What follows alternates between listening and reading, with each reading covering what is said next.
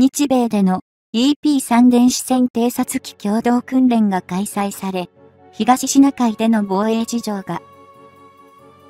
変化している中、尖閣への中国の動きが変わってきました。日本のテレビでも報道されないことは結構多いと思いませんか？例えば、東日本大震災の際のいち早い台湾の援助について、被災地以外に知られるようになったのは数年経ってからでしたね。今回は報道されないニュースの一つ、南シナ海を外事の P3C 哨戒機が無断で飛行したことに中国が猛反発したが、日本は無視したという件について紹介したいと思います。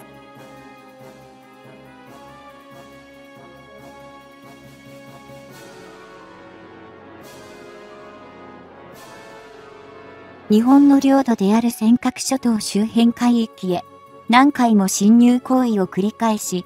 漁船を追跡するなど、次第に行動がエスカレート、凶暴化している中国。領海侵犯されても、日本は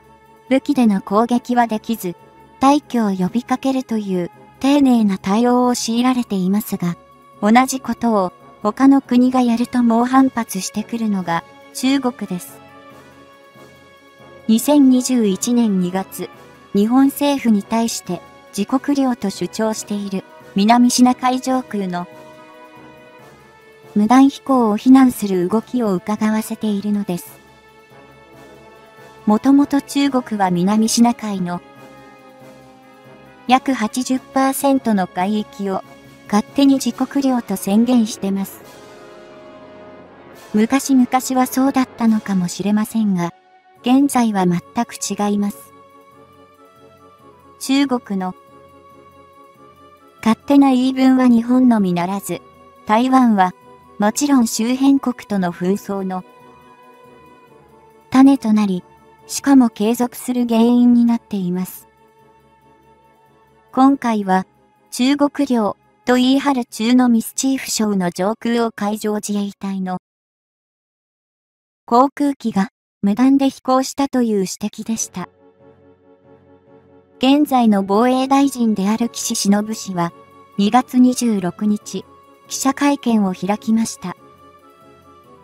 その席上、外事の P3C 哨戒機の飛行行動は、国際法に照らした上で、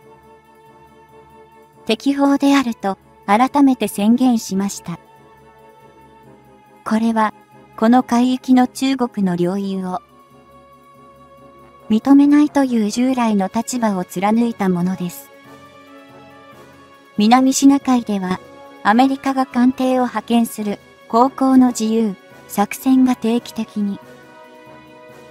展開されています。2021年には、フランスの攻撃型原子力潜水艦も南シナ海を航行すると明言しているようです。これと歩調を揃えるように、イギリスも2021年には最新鋭航空母艦、クイーン・エリザベスを派遣することを決定しました。この上艦には、イギリス空軍とアメリカ海兵隊の F35 ライトニング 2B 型の両方の飛行体を艦載させる予定となっています。つまり、大国の艦隊が中国が主権を主張している南シナ海に派遣されることになるわけですね。このようなアメリカやヨーロッパ主要国の動きを見ると、西側諸国が一致団結して中国の南シナ海を含む周辺海域へ進出しつつある状況を牽制するものではないかと推測されているのです。だとすれば、日本には朗報ですが、果たして中国に効くのかどうかは、不明です。何と言っても、相手はあの中国ですからね。外国の艦隊を見て、中国がビビるほど可愛げのある国とは思えませんし、逆に反発して、またまた軍備増強に走りそうです。中国は、南シナ海への進出行動を一気に加速させています。特にこの海域の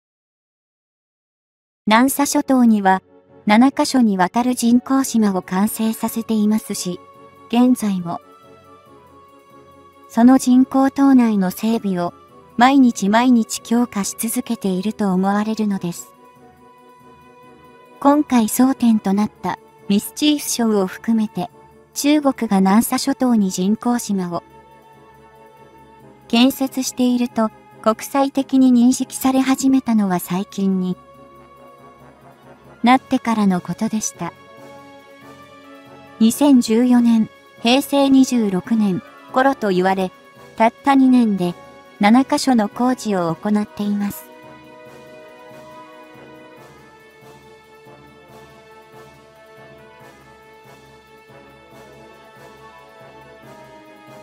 その動きは人工衛星などから発見できなかったのかと思ってしまうのですが、なかなか難しいことだったのでしょうか。人工島の多数がミスチーフ礁と同じような干渉なのですが、満潮時には水没してしまう小さな暗礁だったにもかかわらず、強引に埋め立て、盛り付きをして、あっという間に人工島を完成させました。そして、実行支配を確立させてしまったのです。特に注目されるのが、ミスチーフ賞、ファイアリークロス賞、スービ賞の3カ所です。これらの干渉には、大型旅客機が離着陸できるほどの大規模な滑走路が整備されているそうです。要するに戦闘機から爆撃機まで、どんな航空機も運用可能とまで推測されるのです。滑走路だけに止まりません。中国はこれらの人工島に様々な施設を建築しています。その施設は軍事関係だけではなく、いわば、民間施設まで含む多様な建造物が確認されるようにもなっているそうです。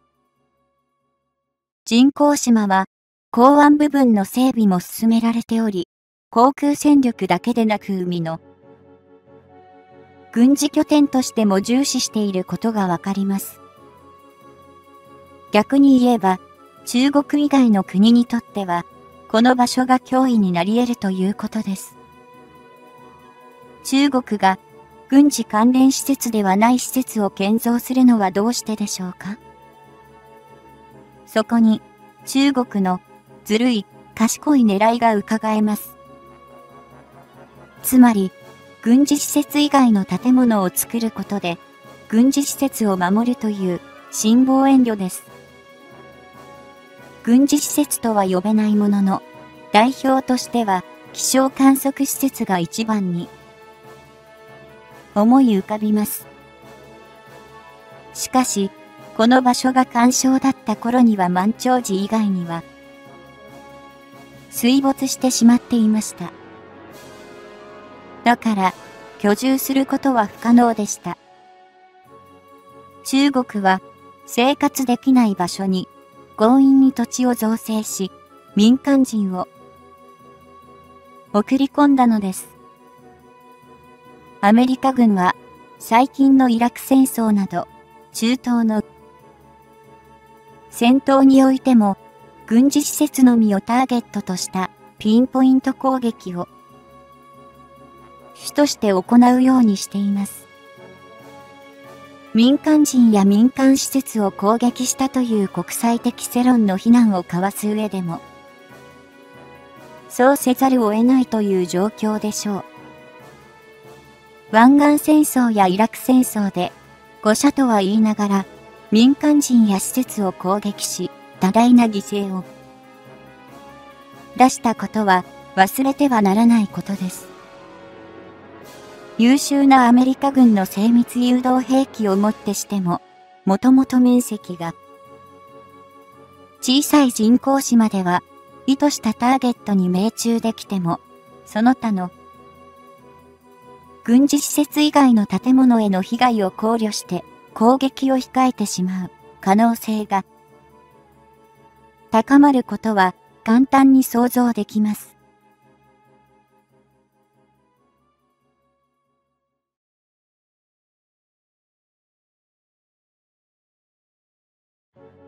中国が人工島に民間人を送り込んだのは戦術としては誠に。理にかなったものと言えるでしょう。さすがは、カンピ氏を生んだ国だと、妙な納得をしてしまいます。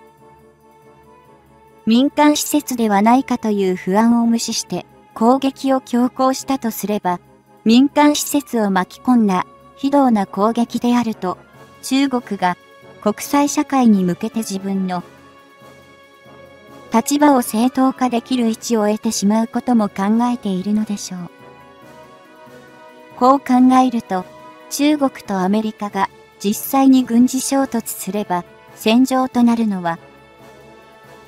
南シナ海が最有力と推定されていますから、戦略的には中国が優位に立っているのが現実かもしれません。韓国が不法に占拠している日本領の竹島をはじめとして、中国は、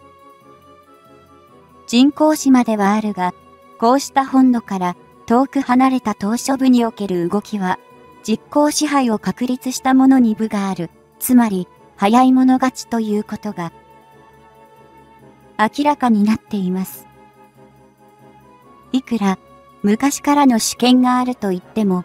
実質的に支配してなければ、理不尽ですが、認められないということになってしまうということです。そういえば、日本も散々揉めた挙句、尖閣諸島を国有化したものの、何も手を打ってはいないですよね。日本の領土だと主張しても、その場所に中国人がいたら、何も証拠にはならないのではないかと、思います。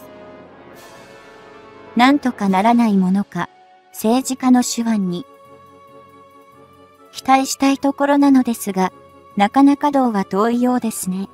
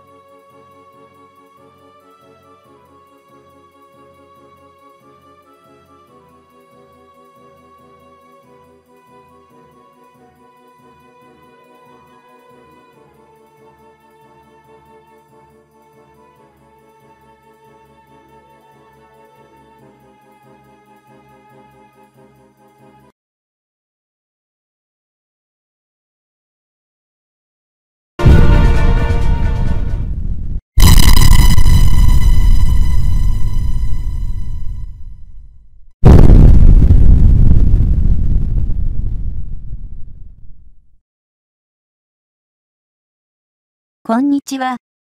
ナビゲーターの東條朝香です。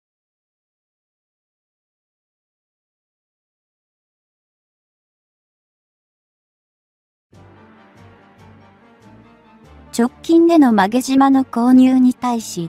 防衛省は160億円での回収を見込んでいることはご存知の通り。だが、なぜ曲げ島が必要とされているのか。それは、第一に、中国を見据えた防衛や、米軍の戦略から来るもので、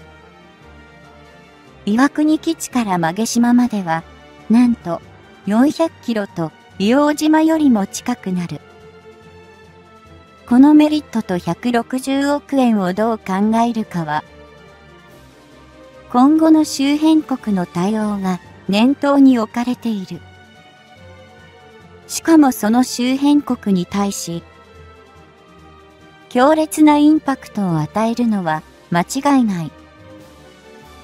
なぜなら、台湾から沖縄を通り、鹿児島県のすぐ下に位置する島だからだ。つまり、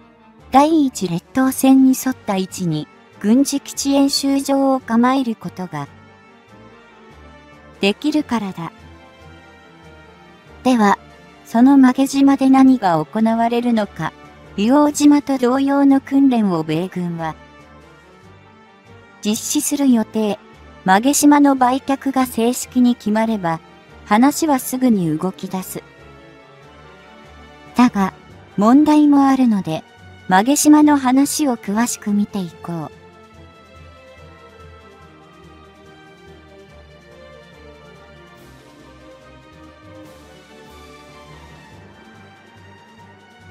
戦国時代に西洋から鉄砲がもたらされたことで知られているのは鹿児島県の種子島だが、この島の西方海上12キロほどの場所に浮かぶ曲げ島が今後の日本やアメリカの防衛戦略上から注視されている。2020年5月現在、曲げ島は同等の大半99%所有する民間企業から国が約160億円で買収し、アメリカ軍の航空母艦艦載機のための陸上離着陸訓練を実施する予定地となっている。曲島を行政上から管轄している鹿児島県西表市サイドでは、こうした軍事施設としての利用に反対の立場を崩しておらず、また、これに反対する団体も多いが、政治的には、すでに規定路線と言える。状態だ。そもそも、曲げ島は、現在では、所有者である民間企業の社員が、居住しているものの、関係者であるこれらの人々を除けば事実上の無人島であり、国が所有者となれば、その利用方法に反対することは、もはや厳しい。ただ、現在の所有者である民間企業も、その所有の理由が、そもそも国への転売を見込んだものであり、これまでも政界工作などを行うなど、金とコネの問題は、元から見え隠れしていると早くから指摘されてきた。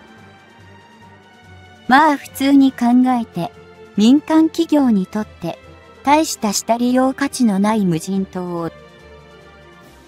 わざわざ所有するというのは高値で転売可能なケースを想定してのことであり、これまでも国の石油備蓄基地候補地に挙げられたこともあった。これが、いつしか、防衛上の拠点として活用することが検討されるに至り、ことに、近年は、在日アメリカ軍の基地再編問題も絡み、厚木基地から岩国基地へ航空母艦艦載機の拠点が移ったことで動きが再加速したものだ。現在、岩国基地を拠点としているアメリカ軍の航空母艦艦載機は、小笠原諸島の両島まで、その陸上での離発着訓練のために飛行を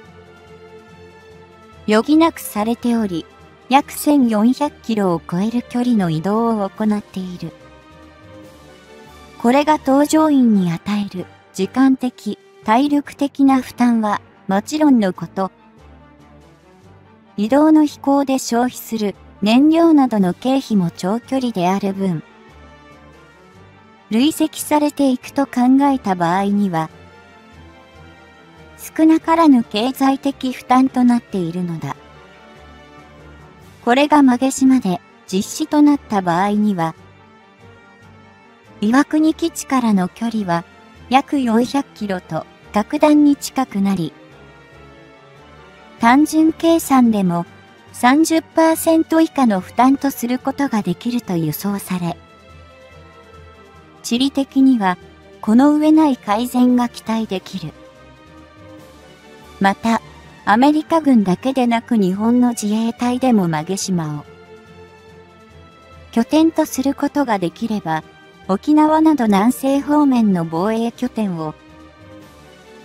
分散化することとなり、増強著しい中国海軍に対する航空戦力の新たな拠点として有望だろう。曲島の軍事拠点化についての地元自治体から反対の声も理解できなくはないが、事実上無人島であることを踏まえれば、個人的には沖縄にほとんどの拠点を集中させ、負担を強いるよりも、有意義だと感じる。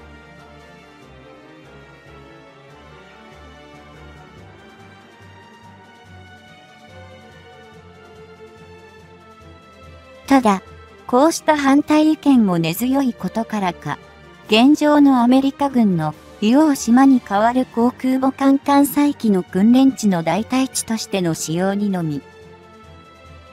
フォーカスされ、日本自身の活用に言及しづらいことは残念だ。それでも、政治的に見れば、手放しで、曲島の活用を喜ぶだけでは、済まされないと感じるのが、今回、国と所有者とが合意に至ったとされる。その購入金額に関する妥当性についてだろう。そもそも、国としては、かつて、曲島の価値を積算したことがあり、その当時示された、その金額は約45億円であり、今回の決定額が約160億円であることを考えれば、かなり割高で、購入したと言わざるを得ない。ただし、曲島を所有している企業は、一説には、この約160億円の3倍以上の価格を提示していたとも言われ、それからするならば、多少割高とはいえ、捻出する額としては想定内に収めたと見せたかったのだろう。国としては、すでに2011年の通称にプラスに日米安全保障協議委員会の文書にて、曲島が洋島の代替地であることが明記された。経緯もあり、アメリカとの合意の上からも早期の入手を図るしかなかったとみられる。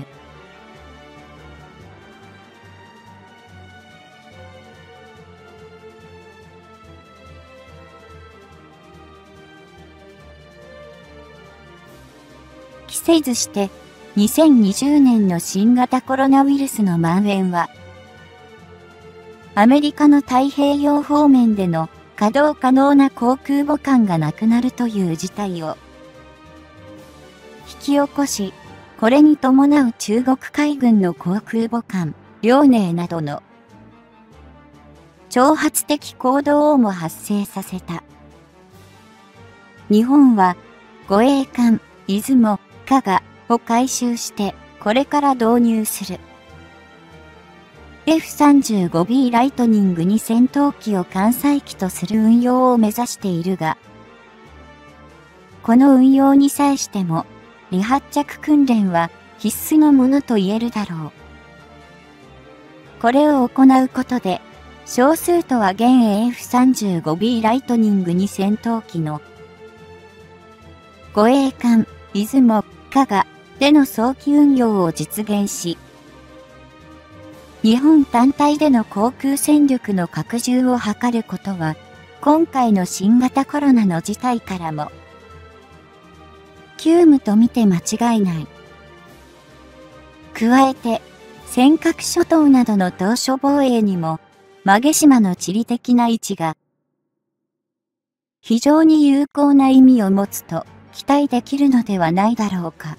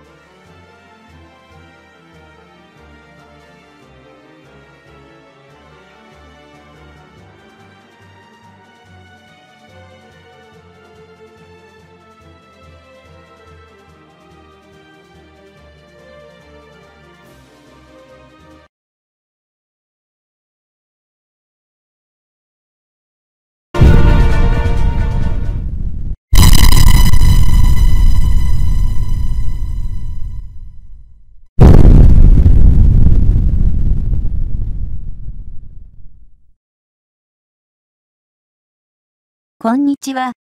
ナビゲーターの東條朝香です。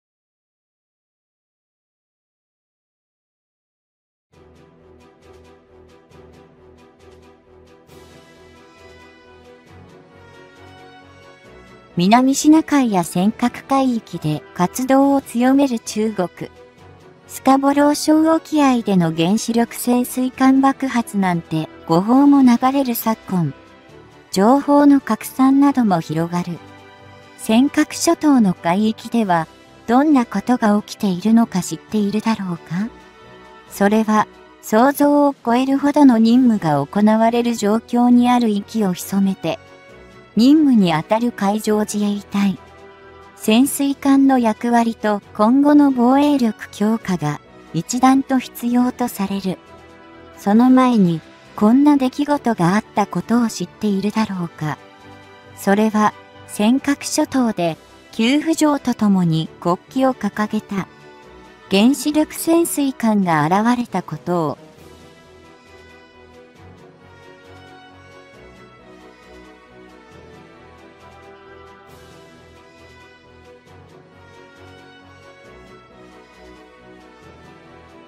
2018年1月10日から12日にかけて、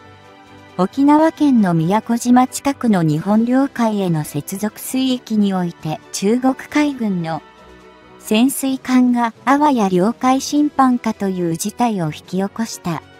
この潜水艦は中国海軍の最新鋭艦である小級 093B 型原子力潜水艦とみられ、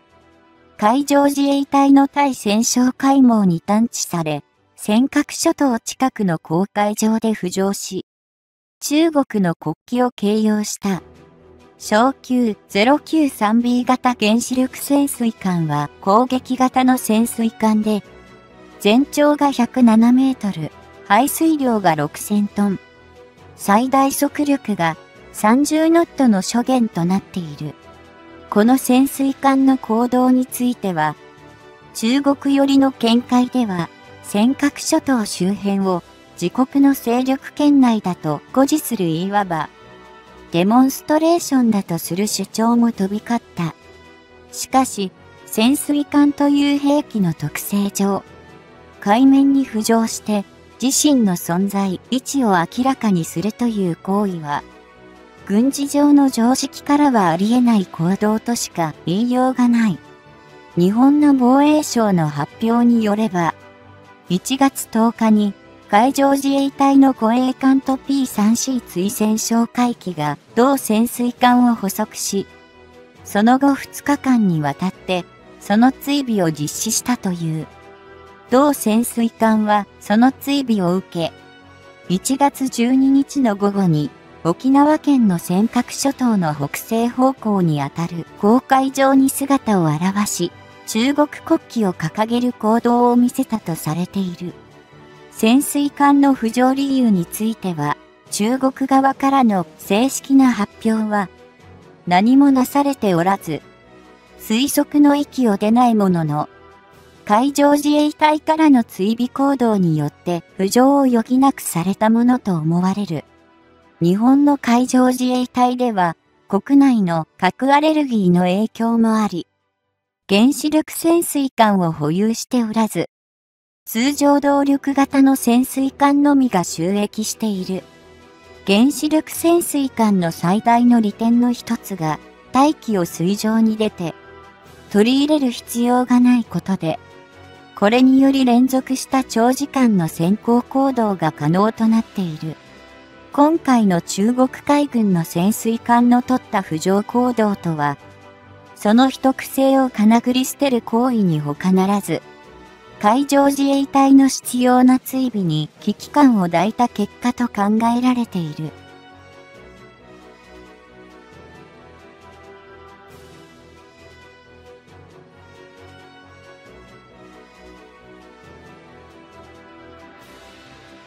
海中での索敵に使用されるのは、ソナーと呼ばれる水中音を探知するレーダーのようなもので、パッシブソナーとアクティブソナーの2種種類がある。前者のパッシブソナーは、感染が発生させる音、スクリュー音やエンジン音などを直接探知するもので、感染ごとに固有のボンモンとして識別が可能だ。後者のアクティブソナーは、自分の側から敵に対して超音波を発し、その跳ね返りを拾って探知する仕組みとなっている。今回、中国海軍の潜水艦に対し海上自衛隊の護衛艦は、アクティブソナーを用いて、その位置と存在を探知し複数回の警告を行ったとされている。この警告を無視し、仮に日本の領海へと侵犯することがあれば、国際法上の無害通行権は適用されないため、最悪の場合、撃沈されても文句が言えない状態だった。中国の潜水艦の行動は、海上自衛隊の潜水艦を探知していたが、自身の位置を秘匿するために水上の護衛艦がアクティブソナーを用いたと推測されている。そして、このアクティブソナーによって行動をすべて把握された。中国海軍の潜水艦は、そのまま潜航を続けることができないと判断し浮上したものと考えられている。そもそも海上自衛隊はすでに日本の領海防衛のための探索網を張り巡らしており、中国海軍潜水艦の行動は逐次把握、報告されていたとみられている。その詳細は、一級の防衛機密のためつまびらかではないが、先の本門の解析によって、艦ごとの単位で把握しており、海上自衛隊の対戦能力が世界一とも言われるゆえんだ。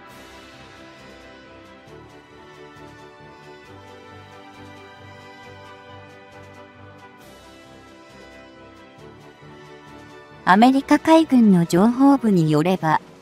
2015年時点で中国海軍は少なくとも、通常動力型潜水艦を57隻、原子力推進型の潜水艦を5隻の計62隻を収益させている。その中で、今回の小級 093B 型原子力潜水艦は、